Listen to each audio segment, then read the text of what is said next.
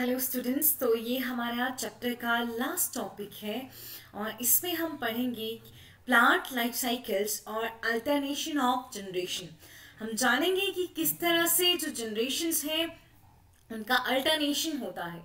अब तक आपने गैमिटोफिटिक और स्पोरोफिटिक बॉडी पढ़ी है और गैमिटोफाइट आता है तो उसके पास स्पोरोफाइट आता है, फिर गैमिटोफाइट आता है, फिर स्पोरोफाइट आता है और उसी को हम क्या कहते हैं? Alternation of generation. देखिए, in plants, both haploid and diploid cells can divide by mitosis. Plant में हम बात करते हैं तो चाहे हैप्लॉइड सेल्स होंगी, चाहे डिप्लॉइड सेल्स होंगी, दोनों माइटोसिस से डिवाइड कर सकती हैं। लेकिन मियोसिस सिर्फ़ डिप्लॉइड सेल्स में होती है हैप्लॉइड सेल्स में मियोसिस नहीं होती है। इस पॉइंट को आप याद रखेंगे कि प्लांट में हैप्लॉइड और डिप्लोइड दोनों सेल्स में माइटोसिस हो सकती है, लेकिन डिप्लोइड सेल में ही मियोसिस हो सकती है। हमारी बॉडी में भी सेम रूल है कि हैप्लॉइड सेल्स जो हैं, वो क्या करती हैं? माइटोसिस करती हैं। डिप्लोइड सेल्स जो हैं, वो माइटोसिस और मियोसिस दोनों मेथड से डिवाइड कर सकती हैं। देखिए So this ability leads to the formation of different plant bodies, haploid and diploid. क्योंकि प्लांट में हैप्लॉइड और डिप्लॉइड सेल्स जो हैं वो माइटोसिस से डिवाइड कर सकती हैं ठीक? माइटोसिस से जब हैप्लॉइड सेल डिवाइड करेगी तो उसका नंबर जो है वो बढ़ता रहेगा। उसी तरह से डिप्लॉइड सेल जो है जब डिवाइड करेगी तो उनका नंबर भी जो है वो बढ़ता रहेगा। इस तरह से क्या होगा? अलग अलग बॉडीज बन जाएँगी, जो कि या तो हेप्लॉइड होंगी या तो डिप्लॉइड होंगी। तो this ability to lead to the formation of different plant bodies haploid and diploid समझ गए ना? क्योंकि दोनों हेप्लॉइड और डिप्लॉइड सेल्स जो हैं माइटोसिस परफॉर्म कर सकती हैं तो हेप्लॉइड और डिप्लॉइड बॉडीज हमको देखने को मिलती हैं। The haploid plant body produces gametes by mitosis याद रखिएगा, बहुत इंपॉर्टेंट पॉइंट है बेटा। हेप्लॉइड जो प्लांट बॉडी होगी गैमीट्स किस मेथड के थ्रू बनाएगी? माइटोसिस के थ्रू ऐसा क्यों होगा? क्योंकि हमने पढ़ा था कि मियोसिस सिर्फ़ डिप्लॉइड सेल में होता है। क्यों? क्योंकि मियोसिस एक प्रोडक्शनल डिवीज़न है, जिसमें क्रोमोसोम नंबर जो है, वो हाफ़ हो जाता है। ठीक? अगर किसी के पास जैसे डिप्लॉइड ऑर्गेनिज्म है तो उसके पास दो सेट ऑफ़ क्रोमोसोम्स होंगे, ठीक? अब दो सेट ऑफ़ क्रोमोसोम होंगे तो आगे वो एक एक सेट जो है, वो अपनी डॉटर सेल्स में दे देगा। मतलब हाफ़ सेट ऑफ़ क्रोमोसोम्स हमको उसकी डॉटर सेल्स में देखने को मिलता है। ठीक है? जैसे इस पे पेरेंट सेल में ट्वेंटी है chromosomes diploid number of chromosome twenty है तो डॉटर सेल में कितना रहेगा बेटा? टेन टेन और टेन ईच मतलब रिडक्शनल हो गया। अब अगर मैं हैप्लॉइड प्लांट बॉडी की बात करती हूँ, जिसके पास की ऑलरेडी टेन क्रोमोसोम्स हैं तो क्या हैप्लॉइड का और आधा होगा? जिसपे एक ही सेट है क्रोमोजोम का। अब एक सेट का क्या आधा आधा हो पाएगा? ठीक है? तो इसमें क्या होता है? सेम क्रोमोसोम नंबर रहता है। हेप्लॉइड प्लांट बॉडी में क्या होगा? डॉटर सेल्स में भी सेम ही क्रोमोसोम नंबर रहेगा। ठीक है? तो haploid plant body produces gametes by mitosis this plant body represents a gametophyte समझ गए आप? तो हेप्लॉइड प्लांट बॉडी जो गैमीट प्रोड्यूस करती है माइटोसिस से, उसको हम क्या कहते हैं? गैमीटोफाइट कहते हैं। तो गैमीटोफाइट एक हेप्लॉइड प्लांट बॉडी होती है। गैमीटोफाइट एक हैप्लॉइड प्लांट बॉडी होती है बेटा, जो कि गैमीट्स प्रोड्यूस करती है माइटोसिस से। Following fertilization the zygote also divides by mitosis to produce a diploid sporophytic plant body तो देखिए गैमिट्स की फॉर्मेशन के बाद उनमें फ्यूजन होता है मतलब फर्टिलाइजेशन होती है। फर्टिलाइजेशन के बाद क्या बनता है? जाइगोट बनता है। अब मुझे बताइए जाइगोट हेप्लॉइड होता है या डिप्लॉइड होता है? जाइगोट जो है, वो डिप्लॉइड होता है बेटा। कैसा होता है? डिप्लॉइड लेकिन जाइगोट में क्या होगा? माइटोसिस हो सकती है या मियोसिस भी हो सकती है। ध्यान से सुनना मेरी बात को। जाइगोट एक डिप्लॉइड सेल है प्लांट का, जिसमें एनिमल में भी जाइगोट बनता है, लेकिन हम यहाँ पे प्लांट किंगडम की बात कर रहे हैं। इसीलिए मेन फोकस जो है वो प्लांट्स पे रखेंगे। जाइगोट जो है बेटा कैसा है? डिप्लोइड है। उसमें माइटोसिस भी हो सकती है, उसमें मियोसिस भी हो सकती है। तो जिस केस में स्पोरोफाइट बनना है, ठीक है? मल्टी सेलुलर स्पोरोफाइट होता है। जिस केस में स्पोरोफाइट बनना है बच्चे, बताइए मुझे जाइगोट में मियोसिस होगी या माइटोसिस होगी? क्या होगी? माइटोसिस तो देखिए फर्टिलाइजेशन के बाद माँ क्या हो सकता है? जाइगोट डिवाइड करेगा माइटोसिस से और क्या फॉर्म करेगा? डिप्लॉइड स्पोरोफिटिक प्लांट बॉडी मतलब जाइगोट में अगर टू सेट ऑफ़ क्रोमोसोम्स हैं तो स्पोरोफिटिक बॉडी जो होगी, उसमें भी क्या होंगे? टू सेट्स ऑफ़ क्रोमोसोम्स ही होंगे। ठीक है? मतलब ट्वेंटी क्रोमोसोम जाइगोट में है तो स्पोरोफिटिक बॉडी में भी क्या होंगे? ट्वेंटी ही सेल्स होंगी। स्पोरोफिटिक प्लांट बॉडी की हर एक सेल में ट्वेंटी ही क्रोमोसोम्स होंगे। ये जो स्पोरोफिटिक प्लांट बॉडी है, इसमें स्पोरोसाइट्स होते हैं। स्पोरोसाइट्स मतलब स्पोर फॉर्मिंग सेल्स क्योंकि ये डिप्लॉइड है तो इसमें मियोसिस होगा। स्पोर फॉर्म करने के लिए स्पोरोफिटिक प्लांट बॉडी में मियोसिस होता है। तो देखिए haploid spores are produced by this plant body by meiosis तो स्पोर्स कौन प्रोड्यूस करता है? स्पोरोफिटिक प्लांट बॉडी जो है, वो स्पोर्स प्रोड्यूस करती है। किस मेथड के थ्रू मियोसिस के थ्रू कौन सा सेल डिवीज़न होता है? मियोसिस में और हेप्लॉइड स्पोर्स बनते हैं।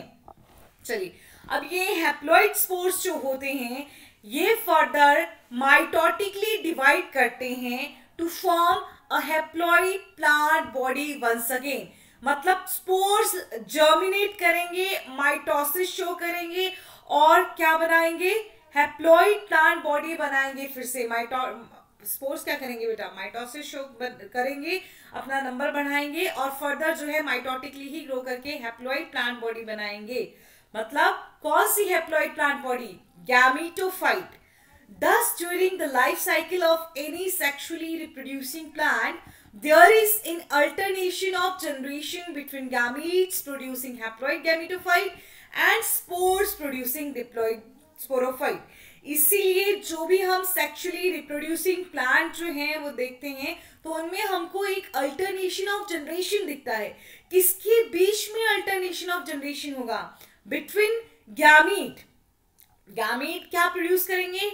हैप्लॉइड गैमिटोफाइट है ना? और स्पोर्स जो प्रोड्यूस करते हैं डिप्लॉइड स्पोरोफाइट तो गैमिटोफाइट कैसा होता है? हेप्लोइड स्पोरोफाइट कैसा होता है? Diploid is it clear to you समझ गए आप? ठीक है? चलिए, अब however different plant groups as well as individual representing them differ in the following pattern लेकिन जो plant groups in sporophytic gametophytic phase को रिप्रेजेंट करेंगे, वो अलग अलग पैटर्न शो करेंगे। सबसे पहले चलिए ये देखिए। यहाँ पे ध्यान से देखिएगा। लाइफ साइकिल सिर्फ़ क्या लिखी है? हैप्लॉन्टिक लिखी है। क्या आपको यहाँ पे स्पोरोफाइट नज़र आ रहा है? हाँ या ना, में आंसर करिएगा। क्या आपको यहाँ पे स्पोरोफाइट नज़र आ रहा है? नो मैम यहाँ कहीं भी स्पोरोफाइट नहीं लिखा है। हैप्लॉन्टिक है मेनली देखिए। जो मेन फ़ेज़ आ रहा है लाइफ साइकिल का वो कैसा आ रहा है? हैप्लॉन्टिक आ रहा है। चलिए ध्यान से देखते हैं। ये गैमिटोफाइट बना। गैमिटोफाइट हमने पढ़ा है कैसा होता है? हैप्लॉइड होता है। गैमिटोफाइट में गैमीट्स बनते हैं, ठीक है? तो गैमिटोजेनेसिस हुआ गैमीट्स का फॉर्मेशन तो गैमीट फॉर्मेशन जो है, उसके बाद क्या हुआ? सिंगैमी सिंगैमी क्या हुआ? गैमीट का फ्यूजन अब गैमिटोजेनेसिस में गैमीट जो बने मेल गैमीट और फीमेल गैमीट दोनों ही कैसे थे? हैप्लॉइड थे। जब दोनों का फ्यूजन हुआ फर्टिलाइजेशन हुई तो क्या बना? डिप्लॉइड जाइगोट बना। अब यहाँ पे कोई स्पोरोफाइट नहीं बनता है। तो यहाँ पे जाइगोट में ही मियोसिस हो जाती है। तो हम बोल सकते हैं कि sporophyte is represented by a single cell zygote ठीक है? तो स्पोरोफाइट को कौन रिप्रेजेंट कर रहा है बेटा? एक सिंगल सेल जाइगोट याद रखिएगा। किसी भी लिविंग का, जो फ़र्स्ट सेल होता है लाइफ का the first cell of life is zygote जो कि डिप्लॉइड होगा, जिसमें दो सेट ऑफ़ क्रोमोसोम होंगे। क्यों होंगे? क्योंकि एक सेट जो है वो मेल से आएगा। दूसरा सेट जो है वो फीमेल से आएगा।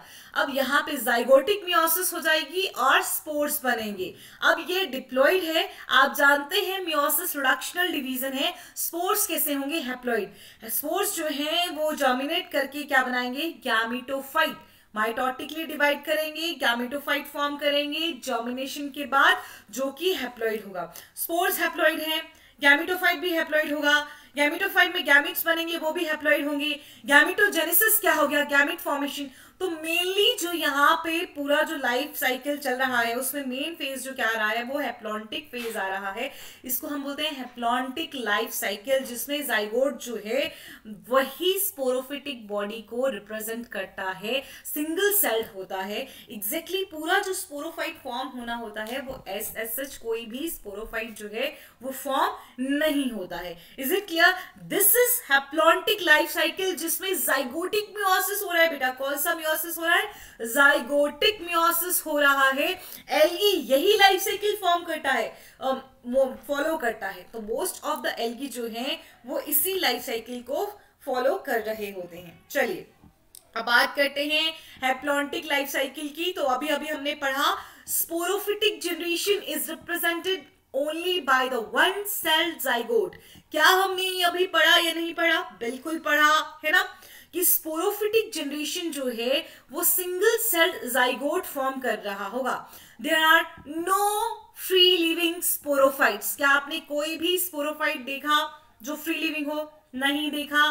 Meiosis in zygote results in the formation of haploid spores तो मियोसिस किसमें हुई हेप्लॉन्टिक लाइफ साइकिल में आपको जाइगोटिक मियोसिस देखने को मिलती है और जाइगोट में मियोसिस के बाद क्या फॉर्म हुए बच्चा लोग स्पोर्स फॉर्म होते हैं The haploid spores deploy divide mitotically and form the gametophyte. तो haploid spores जो है mitotically divide करेंगे क्या बनाएँगे gametophyte. gametophyte में क्या बनेगा गैमिटोजेनेसिस होगी मतलब गैमिट्स बनेंगे। गैमिट्स बनने के बाद क्या होगा? उनका फ्यूजन होगा मतलब फर्टिलाइजेशन सिंगामी होगी। उसके बाद क्या बनेगा? जाइगोट जाइगोट में फिर क्या होगी? म्योसिस मियोसिस से फिर क्या बनेगा? गैमिटोफाइट तो इस तरह से ये जनरेशन जो है, ये चलती रहेगी। जाइगोट आएगा, फिर गैमिटोफाइट बनेगा, फिर जाइगोट आएगा, फिर गैमिटोफाइट बनेगा। जाइगोट हैप्लॉइड होगा या डिप्लॉइड डिप्लॉइड होगा। स्पोर्ट्स कैसे होंगे? हैप्लॉइड होंगे। गैमिटोफाइट कैसा होगा? जल्दी से बताइए। हेप्लॉइड होगा। तो स्पोर हेप्लॉन्टिक लाइफ साइकिल में स्पोर्स जो हैं, वो हेप्लॉइड होते हैं। ये पॉइंट खास तौर पे याद रखिएगा। ठीक है? फिर आता है dominant photosynthetic phase in such plant is the free living gametophyte याद रखेंगे एलगी का डोमिनेंट फ़ेज़ फोटोसिंथेटिक फ़ेज़ क्या होता है? फ्री लिविंग गैमिटोफाइट हमने पढ़ा स्पोरोफाइट इसमें एसच नहीं होता है। तो इस तरह की लाइफ साइकिल को हम कहते हैं haplontic life cycle Volvox Spirogyra और क्लेमाइडोमोनास इस पैटर्न को शो करते हैं। याद रखिएगा क्लेमाइडोमोनास में सारे कैरेक्टर्स एलगी की तरह है, लेकिन इसको प्लांट किंगडम में एग्जैक्टली exactly नहीं रखा गया है, अब इसको प्रोटिस्टा में रखा गया है। हालाँकि ग्रीन एल्गी में क्लेमाइडोमोनास का एग्ज़ाम्पल भी दिया हुआ है। ये चीज़ हमको बहुत कंफ्यूज करती है। एनसीआरटी ही क्लेमाइडोमोनास को दो जगह रखती है। ग्रीन एल्गी में भी रखती है और वही ये हमारे बायोलॉजिकल क्लासिफिकेशन के चैप्टर में भी मेंशन करती है कि क्लेमाइडोमोनास जो है, वो एक प्रोटिस्ट है क्योंकि ये सिंगल सेल यूकेरियोटिक ऑर्गेनिज्म है। ठीक है? चलिए। नेक्स्ट साइकिल देखते हैं हम। नेक्स्ट साइकिल में क्या हुआ? गैमिटोफाइट तो सब में हैप्लॉइड होता है। गैमिटोफाइट सब में कैसा होता है? हैप्लॉइड अरे नेक्स्ट नहीं है ये। ये वही साइकिल है हैप्लॉन्टिक साइकिल ठीक है? तो वो आप तो देख ही सकते हैं। अगेन गैमिटोफाइट गैमिटोजन गैमिटोफाइट में गैमिट्स बनेंगे गैमिटोजेनेसिस होगी सिंगामी जाइगोट जाइगोट में मियोसिस होगी। मियोसिस से हैप्लॉइड स्पोर बनेंगे जाइगोट डिप्लॉइड होता है। ठीक, ये हमने बहुत अच्छे से पढ़ लिया। नेक्स्ट बात करते हैं। ये है हमारे पास। ये हमारे पास डिप्लॉन्टिक लाइफ साइकिल अब यहाँ ध्यान से देखिए। गैमिटोफाइट जो है, वो शॉर्ट लिव्ड है और स्पोरोफाइट जो है, वो ज़्यादा टाइम के लिए है। ठीक है?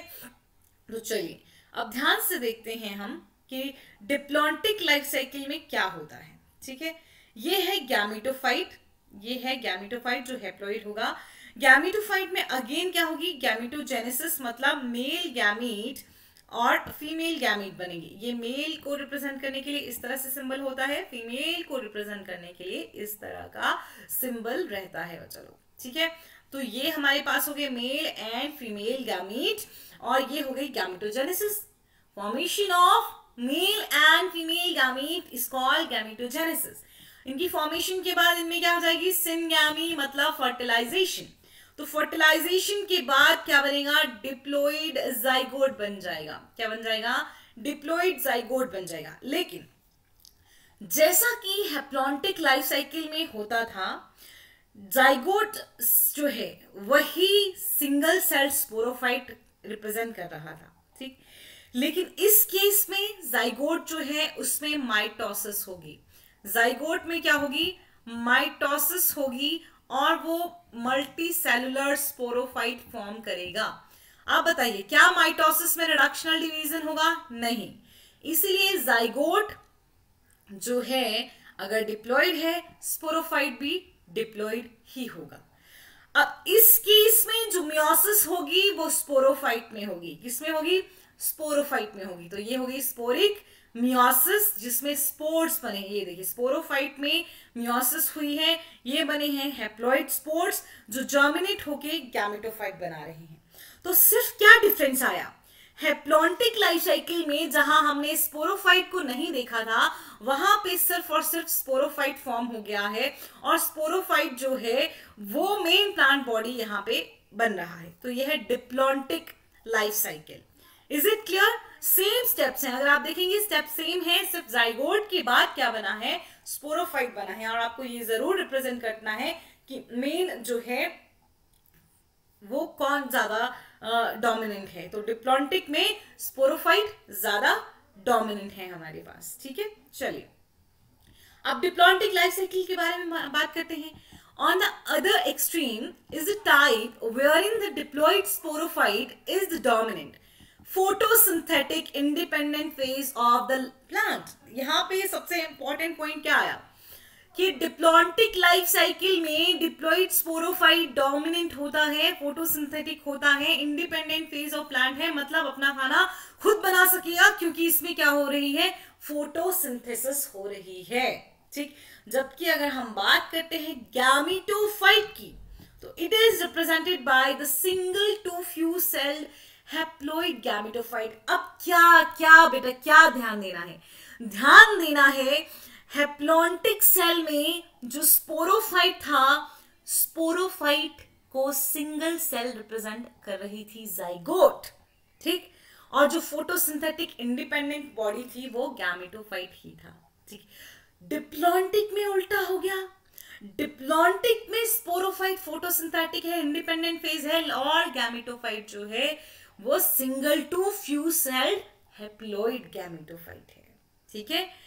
The kind of cycle is called diplontic जिसमें आपके पास डिप्लॉइड स्पोरोफाइट बहुत डोमिनेंट है और जो गैमेटोफिटिक फ़ेज़ है, वो सिंगल टू फ्यू सेल ही। है याद रखना है। प्लांटिक में बताइए, जो आपकी स्पोरोफिटिक फ़ेज़ है, वो कितनी सेल है? जल्दी से सिंगल सेल और डिप्लॉन्टिक में स्पोरोफिटिक फ़ेज़ मल्टी सेलुलर है। लेकिन gametophytic phase single to few cell है। चलिए। एनेलगा फ्यूकस, देखिए स्पाइनोगाइना वॉलवॉक्स क्लेमाइडोमोनास जो है, वो कौन सी साइकिल फॉलो कर रहा है? जल्दी से बताइए, हेप्लॉन्टिक। लेकिन फ्यूकस जो आपने पढ़ा था, वो रिप्रेजेंट करता है डिप्लॉन्टिक लाइफ साइकिल को। याद रखना है बेटा इसके साथ ही जितने भी ऑल सीड बियरिंग प्लांट दो ही आते हैं gymnosperms and angiosperm covered seed होता है एंजियोस्पॉम में जिम्नोस्पॉम्स में naked seed they follow this pattern with some variations where in the gametophytic phase is few to multi cells ठीक है? तो क्या होता है कि एल्गी में तो होता ही होता है। फ्यूकस में हमने पढ़ लिया एल्गी में मेनली हैप्लॉन्टिक है। लेकिन फ्यूकस में डिप्लॉन्टिक है और जितने भी जिम्नोस्पर्म्स हैं एंजियोस्पर्म्स हैं, सारे के सारे इसी पैटर्न को फॉलो करते हैं, जहाँ पे गैमेटो गैमेटोफिटिक फ़ेज़ जो है, वो फ्यू टू मल्टी सेल्ड होती है। चलिए, अब यहाँ देखिए, ये है haplodiplontic life cycle important point देखिए हैप्लॉइड फ़ेज़ डिप्लॉइड फ़ेज़ अपना अपना बराबर हिस्सा है, ठीक है? ध्यान से देखेंगे, बस यहाँ पे हिस्सा बदला है स्टेजेस वही हैं। गैमिटोफाइट हैप्लॉइड होता है गैमिटोजेनेसिस होती है गैमिट का फॉर्मेशन में क्या हुआ फिर? सिंगैमी हुई फ्यूजन हुआ, क्या बना? जाइगोट बना। अब जाइगोट जो है, उससे क्या बनेगा? माइटोसिस के थ्रू स्पोरोफाइट बनेगा, दोनों कैसे रहेंगे? डिप्लॉइड अब स्पोरोफाइट में क्या होगी? मियोसिस मियोसिस में क्या बनेंगे? स्पोर्ट्स जो कि कैसे है? हैप्लॉइड और ये क्या जर्मिनेट करके क्या बना देंगे? कैमिटोफाइट लेकिन यहाँ पे देखिए, अपना अपना रोल होता है स्पोरोफाइट का गैमिटोफाइट का एक पर्टिकुलर टाइम के लिए। मतलब स्पोरोफाइट और गैमिटोफाइट जो हैं, वो समहाउ आपको इंडिपेंडेंट दिखेंगे। ठीक? नॉट ऑलवेज ठीक है? इंडिपेंडेंट मेनली टेरिडोफाइट्स में इंडिपेंडेंट रहेंगे। चलिए, आगे हम पढ़ते हैं हैप्लोडिप्लॉन्टिक लाइफ साइकिल के बारे में स्टेप्स वही हैं ठीक? लेकिन थोड़ा हेप्लॉन्टिक लाइफ हेप्लोडिप्लॉन्टिक जो है उनका हिस्सा जो आपको दिखाई दे रहा है यहाँ पे वो बराबर दिखाई दे रहा है। इंडिपेंडेंट फेजेस आपको दिखाई देंगे स्पोरोफाइट uh, आपको इंडिपेंडेंट भी दिखाई देगा हेप्लॉन्ट गेमिटोफाइट भी आपको इंडिपेंडेंट दिखाई देगा हेप्लोडिप्लॉन्टिक लाइफ साइकिल में। चलिए देखते हैं। Bryophytes and pteridophyte interestingly exhibit an intermediate condition haplodiploidic. Both phases are multicellular. ये मेन है कि दोनों फेजेस जो हैं वो सेलुलर हैं। ये भी नहीं है कि कौन इंडिपेंडेंट है, कौन इंडिपेंडेंट नहीं है। सबसे इंपॉर्टेंट बात है कि दोनों ही सेल्स यहाँ मल्टी सेलुलर हैं। ठीक? अब आप बताइए डिप्लॉन्टिक में मल्टी सेलुलर कौन था? स्पोरोफाइट गैमिटोफाइट जो था वो सिंगल टू फ्यू सेल था मतलब कुछ सेल थी, या फ्यू टू मल्टी थोड़ी सी ज़्यादा सेल थी, ठीक है, टू मल्टी सेल, ठीक? तो फिर भी जो गैमिटोफाइट था, वो कम था। और वहीं अगर हम बात करते हैं हेप्लॉन्टिक की तो उसमें स्पोरोफिटिक सेल तो एक ही थी, बाकी सारा फेजेस कैसे थे? हेप्लॉन्टिक यहाँ बात कर रहे हैं तो यहाँ दोनों ही स्पोरोफाइट और गैमिटोफाइट मल्टी सेलुलर होंगे हेप्लोडिप्लॉन्टिक लाइफ साइकिल्स में। हालाँकि दोनों उनकी डोमिनेंट फ़ेज़ में डिफर करेंगे। चलिए। डोमिनेंट इंडिपेंडेंट फोटोसिंथेटिक थैलोइड और erect phase is represented by a haploid gametophyte and it alternate with a short lived multicellular sporophyte totally or partially dependent on the gametophyte for its anchoring and nutrition. All bryophytes represent this pattern आपने bryophytes पढ़ा, उसमें dominant plant body कौन सी होती है? Haploid gametophyte जो कि multi cellular होगा, लेकिन सब सेल में एक सेट ऑफ़ क्रोमोजोम ही होगा। ठीक है? एक एक सेट होगा। चलिए। इंडिपेंडेंट होगा गैमिटोफाइट फोटोसिंथेसिस कर पाएगा। थैलस लाइक होता है इरेक्ट इरेक्ट हो सकता है है ना? तो हैप्लोइड गैमिटोफाइट ये अल्टरनेट करेगा short lived but multicellular sporophyte के साथ, जो कि टोटली और पार्शियली किस पे डिपेंडेंट होगा? हेप्लोइड गैमिटोफाइट पे ही डिपेंडेंट होगा तो ब्रायोफाइट्स में स्पोरोफाइट डिपेंडेंट रहता है गैमिटोफाइट पे। फोटोसिंथेसिस कौन करता है? गैमिटोफाइट लेकिन दोनों कैसे हैं? मल्टीसेलुलर वहीं अगर हम बात करते हैं किसकी? टेरिडोफाइट्स की। तो diploid sporophyte is represented by a dominant, independent, photosynthetic, vascular plant body सबसे पहले जो वैस्कुलर बंडल्स बने थे जाइलम एंड फ्लोएम वो टेरिडोफाइट्स में आए थे। It alternates with multicellular saprophytic और autotrophic independent but short lived haploid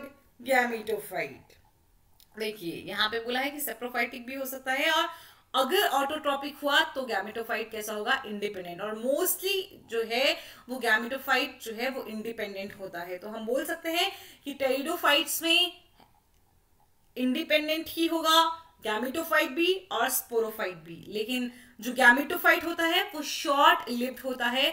sporophyte जो है वो ज़्यादा टाइम तक रहता है। तो डोमिनेंट फ़ेज़ जो है वो कौन आया यहाँ पे? डिप्लॉइड स्पोरोफाइट आया। लेकिन अगर हैप्लॉइड गैमिटोफाइटिक जो है वो सप्रोफिटिक है तब वो इंडिपेंडेंट uh, फ़ेज़ नहीं कहलाएगा। तब वो हिटेरोट्रॉपिक न्यूट्रिशन शो कर रहा है। दूसरे पे डिपेंडेंट है ठीक? पर फिर भी मेनली यहाँ पे क्या होगा? सेप्रोफिटिक हो सकते हैं ऑटोट्रॉपिक हो सकते हैं लेकिन इंडिपेंडेंट होंगे।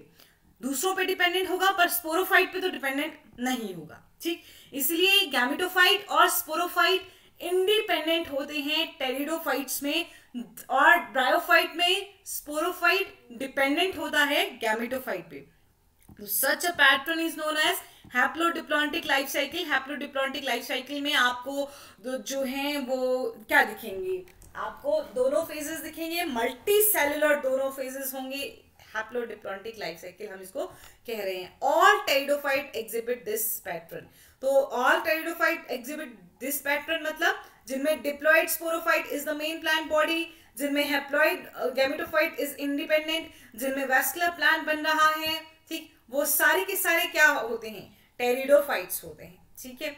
Interestingly while most algal genera are haplontic हम जानते हैं मोस्टली सारे एल्गल जेनेरा कैसे हैं? हेप्लॉन्टिक हैं। Some of them such as Ectocarpus जो फ्यूफाइसी में आता है पॉलीसिफोनिया जो रेड एल्गी है रोडोफाइसी में आता है kelps again brown algae Phaeophyceae are haplodiplontic Ectocarpus Polysiphonia and kelps are haplodiplontic और फ्यूकस तो आपने जाना ही था कैसा होता है? डिप्लॉन्टिक चलिए एक बार रिवाइज कर लेंगे। हैप्लॉन्टिक लाइफ साइकिल में जो स्पोरोफाइट है, वो सिंगल सेल्ड होता है, जो जाइगोट होता है। और मल्टी सेलुलर आपको गैमिटोफाइट देखने को मिलता है। ठीक है? तो गैमिटोफाइट जो है, वहाँ पे मेन रहता है हैप्लॉन्टिक लाइफ साइकिल आती है। ठीक, और वहाँ हमको जाइगोटिक म्योसिस देखने को मिलती है। मोस्टली एल्गी जो है, वो हैप्लॉन्टिक लाइफ साइकिल शो करती हैं। डिप्लॉन्टिक में हमको गैमिटोफाइट जो है, वो फ्यू सेल देखने को मिलता है, और स्पोरोफाइट जो है, वो मल्टी सेलुलर रहता है। स्पोरोफाइट फॉर्म होता है, और स्पोरोफाइट में मियोसिस होती है टू फॉर्म स्पोर्स हैप्लोडिप्लॉन्टिक में भी स्पोरोफाइट बनता है, लेकिन स्पोरोफाइट और गैमिटोफाइट दोनों ही मल्टी सेलुलर होते हैं। ब्रायोफाइट्स में हैप्लोडिप्लॉन्टिक लाइफ साइकिल होती है, टेरिडोफाइट में होती है, उसके अलावा एक्टोकार्पस पॉलीसिफोनिया और कैल्प्स में होती है। और डिप्लॉन्टिक जिम्नोस्पर्म और एंजियोस्पर्म में होती है, उसके अलावा फ्यूकस में होती है। अच्छे से रिवाइज करना